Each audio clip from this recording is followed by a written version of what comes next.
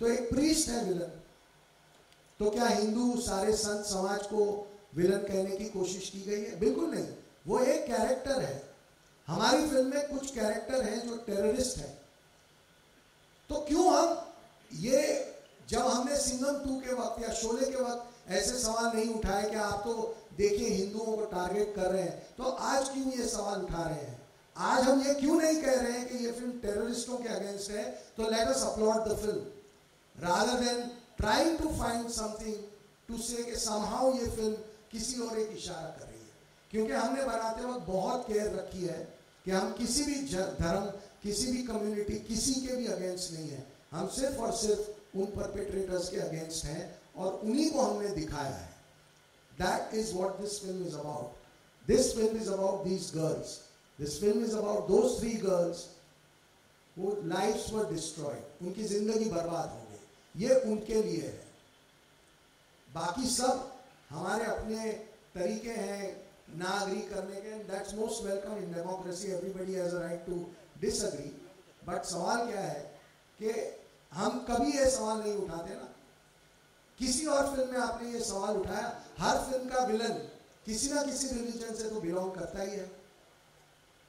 ऐसा तो कोई ऐसा तो कोई विलन नहीं होगा ना जो किसी रिलीजन से बिलोंग नहीं करता। आपने कितनी बार ये सवाल उठाए? लेकिन आज ये सवाल क्यों उठा रहे हैं? हम लड़कियों की ओर क्यों नहीं देख रहे हैं?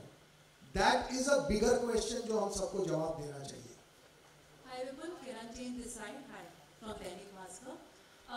फ़िल्म की कहानी अच्छी लगी, सबको फ़िल्म अच्छी लगी। मेरा सवाल ये है कि ये फ़िल्म की कहानी ज़्यादातर आईएसआईएस और टेररिज्म पर है। आज जब आपने ये जो एक्टिविटी रखी है इनसे हमें इंट्रोड्यूस कराया है आपने उन लोगों को सामने क्यों नहीं लाया या ला नहीं सकते या ला नहीं पाए हैं जो एक्चुअली आईएसआईएस और टेररिज्म का शिकार हो चुकी है इसमें? उसमें ऐसा है कि हम उन तक पहुँच नहीं सकते। जिस लड़की की कहानी, शालिनी, वो अफ़गानिस्तान की जेल में है। और नीमा का टेस्टिमोनी हमने फ़िल्म के एंड में रखा है। गीतांजलि के माँ बाप का टेस्टिमोनियल भी हमने रखा है। लेकिन वो लड़कियाँ जो कहीं चली गई हैं उन तक पहुँचना हमारे हमारी रीच के बाहर है। और, और आ, मेरा मैं एक पॉइंट ऐड करूँ। हमारी उद्देश्य ये नहीं था कि कोई एक एग्जीबिशन करके लड़कियों को दिखाने की कोई इरादा नहीं था। यहाँ पे कुछ ह्यूमनिटेरियन कहानी बोलने की कोशिश की। गीतांजलि की जो माँ बाप की जो आपने फ़िल्म की एंड में देखे हैं वो माँ बाप भी आना चाहते थे हम हमें सपोर्ट करने के लिए। लेकिन वो लोग ऐसे दूरी में रहते हैं उनको इधर आने में तीन दिन लग जाएगा क्योंकि नियरेस्ट शहर से भी वो लोग बहुत दूर रहते हैं। बात यह है कितने लोग, हमने कहीं नहीं बोला कि पचास हज़ार लड़की, सत्तर हज़ार लड़के आईसीस में चले गए। उसके लिए आज भी हम क्या बोलेंगे अलग अलग दुनिया की जगह से पेपर भेज रहे हैं प्रूफ आज भी एक प्रूफ आया कि बयालीस हज़ार लड़कियों को आईसीस ने इम्प्रेग्नेंट की है। आज आज आए हैं मतलब पायनियर न्यूयॉर्क करके कोई मैगजीन से। सो so, बात ये नहीं है कि हमने कोई सेलिब्रेशन करना था कोई शो एग्जीबिशन करना था। हमें तीन प्यारी बच्ची की कहानी बोलना था। और वो कहानी हमने बोले और उस कहानी के थ्रू एक बहुत बड़ा इशू को हम टारगेट की। ये श्रुति अगर अभी बोलना शुरू करेगी ना रात हो जाएगा आप सुन नहीं पाएँगे सिर्फ़ आँसू बचेगा एनर्जी खत्म हो जाएगा सब हो जाएगा। अगर श्रुति अपने कहानी बोले अगर अपने कहानी बोले चित्रा अपने कहानी बोले। तो बात यह है, मुझे दुख इस बात की हुई, हमारी देश में आज भी अगर गरीब को रोटी देने की बात करें ना तो कोई सवाल उठाएगा, इसका कोई, ज़रूर कोई उद्देश्य है कि गरीब को रोटी दे रहा है। पॉलिटिक्स ने बहुत बुरे कर दिए हमारी मन को। इन तीनों बच्ची की जो हमारी फ़िल्म थी और यहाँ पे जो 26 साल की बैठी है, इनकी दर्द किसी को नज़र नहीं आते हैं, यानी कि हमारी पॉलिटिकल मंशा मन में आता है। Is which really pained us. Hi, uh, this is Moga from the Times of India.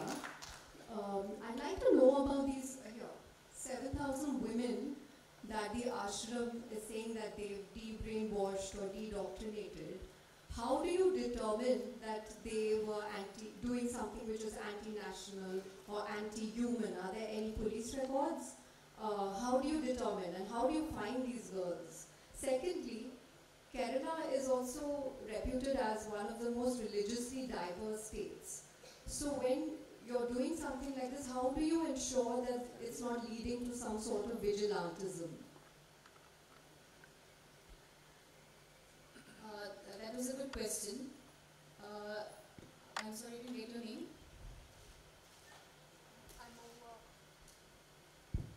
Mohua from the Times of India. Okay, uh, that is a good question, Mohua ji. So, uh, if we have to talk about the 7,000 people that we have brought back, it's uh, first of all not just women. It's both men and women whom we have brought back.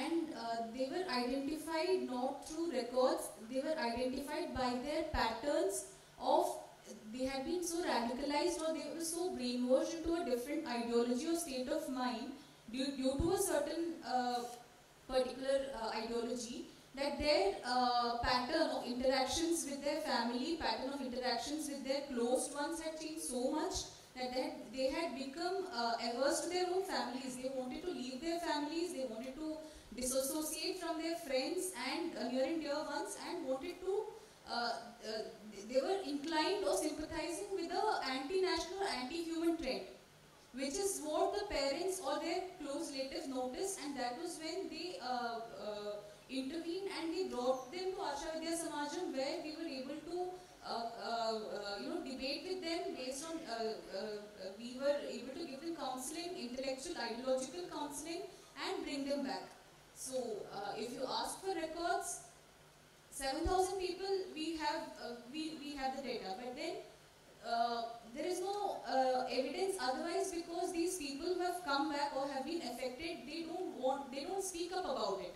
Or their families don't want to reveal their identities because of the political scenario or the uh, because of the concern for the safety of their uh, lives.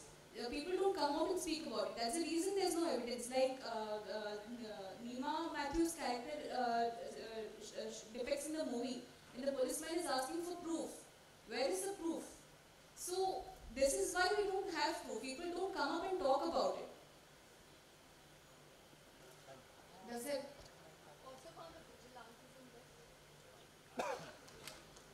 About the diversity of the state, the film actually wants to maintain the diversity and just want to expose the bad apples. So if exposing terrorism is going to affect the diversity, if that's what your conclusion is, then I don't agree with it.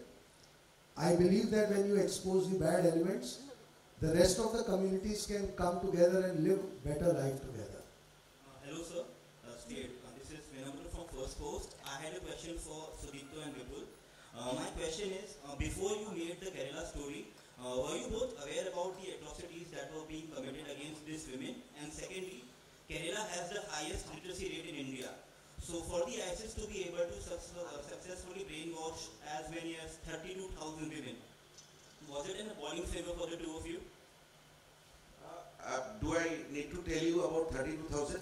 Already we discussed. I think you heard the answer, Would-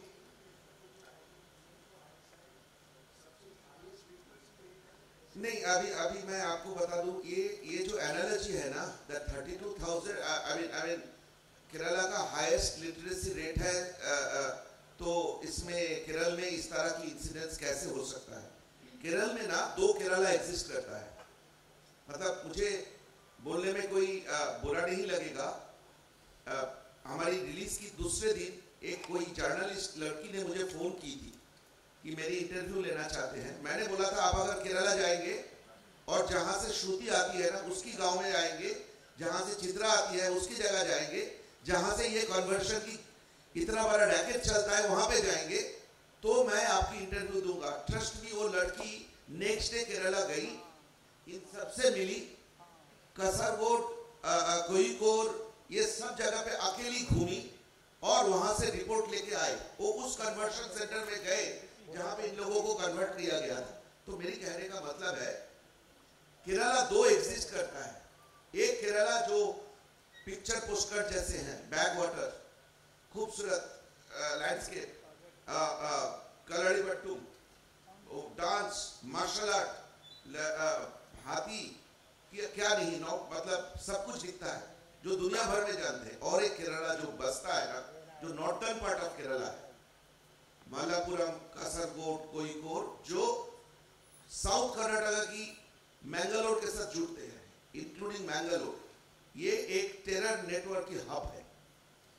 यहाँ से जितनी कहानियाँ आपको सुनेंगे, जितना जानने का पाएँगे, ये तब आपको पता चलेगा कि highest literacy rate in the human index the women health child health की टॉप में रहने वाले एक स्टेट में अंडर द कारपेट क्या होने जा रहा है?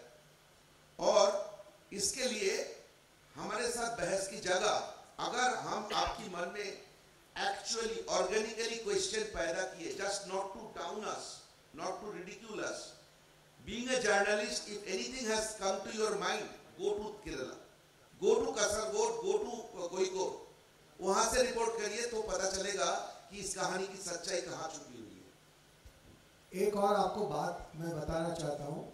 सीएनएन इंटरनेशनल की एक डॉक्यूमेंट्री है, जहाँ पे केरल के कुछ गाँव में शरिया लॉ एग्जिस्ट करता है। उसकी पूरी डॉक्यूमेंट्री है। आपको वो डॉक्यूमेंट्री ज़रूर देखनी चाहिए। और ये वो पढ़े लिखे हंड्रेड परसेंट लिटरेसी रेट वाले स्टेट की हम बात कर रहे हैं, जहाँ पे गाँव के गाँव, शरिया लॉ से चलते हैं और C N N I B N के उन जर्नल सी एन एन के उन जर्नलिस्टों को कितना ऑपोजिशन उस गाँव में, वो सब डॉक्यूमेंट्री में उन्होंने दिखाया है। तो there is a lot of material out there हमसे देखना नहीं चाह रहे हैं। ट्रस्ट मी इस फ़िल्म को बनाने से पहले मुझे भी बहुत कुछ नहीं पता था। अब मैं कुछ थोड़ा बहुत ज़्यादा जानता हूँ, इसलिए मैं कॉन्फिडेंस से कह सकता हूँ। क्योंकि मैंने बहुत कुछ देखा मैंने बहुत कुछ एक्सपीरियंस किया you wanted to add to that please Hello. Yeah, uh, there is definitely documentation uh, in terms of people who there are uh, about cases who have gone uh, from Kerala joined the IS. The most recent is that of a news disclosed by the Chief Minister of Kerala, Shri Pinarayi Vijayan himself. It was about Praju who converted as Muhammad Amin. Uh, this is a news from Balusheri. I am just quoting the news. Praju's wife, a native of Balusheri, learnt about the whereabouts of her husband who fled eight years ago after Chief Minister Pinarayi Vijayan's statement in a press conference. Pinarayi Vijayan, who was speaking in the context of narcotic jihad, had revealed that Praju, a resident of Turutiyar Balusheri, was included in the list of Malayalis who joined the IS. Praju, Muhammad Amin,